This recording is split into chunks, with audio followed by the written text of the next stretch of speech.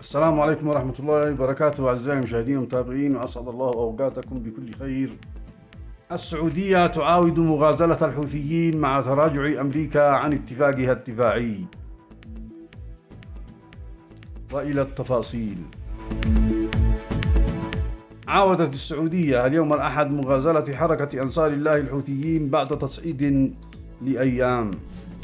يتزامن ذلك مع تراجع أمريكا عن اتفاقها الدفاعي بشروط جديدة وبدأ خبراء ومنظري السياسة السعودية الحديث عن من وصفوهم بعقلاء الحوثيين والعلاقات الطيبة مع الحركة واستبعاد الهجوم على السعودية وكان هؤلاء يعلقون خلال لقاءات على قنوات تلفزيونية أبرزها المستقلة حول مصير الاتفاق السعودي مع الحوثيين في ضوء إعلان اليمن المرحلة الرابعة من التصعيد والتي قد تضال السعودية.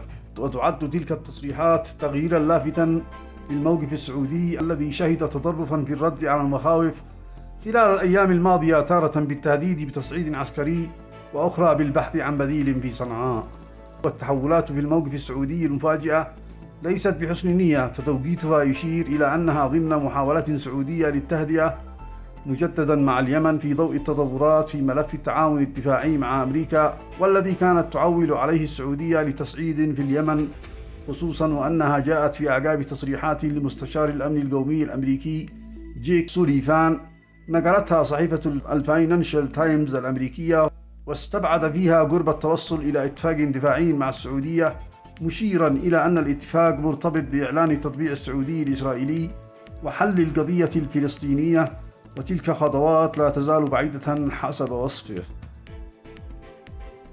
وتأتي مغازلة اليمن ضمن حملة سعودية جديدة للعودة إلى خفض التوتر شملت أيضا إيران التي كانت العلاقات معها شهدت ركودا مؤخرا في ضوء التطورات في المنطقة وعلى رأسها طوفان الأقصى حيث أعلن وزير الخارجية السعودي رغبة بلاده بتعميق العلاقات الثقافية مع إيران باعتبارها تعمق التقارب بين الدولتين.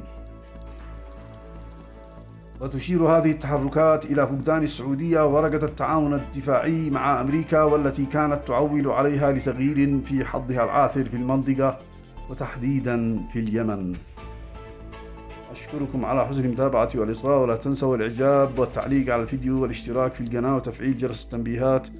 والسلام عليكم ورحمة الله وبركاته.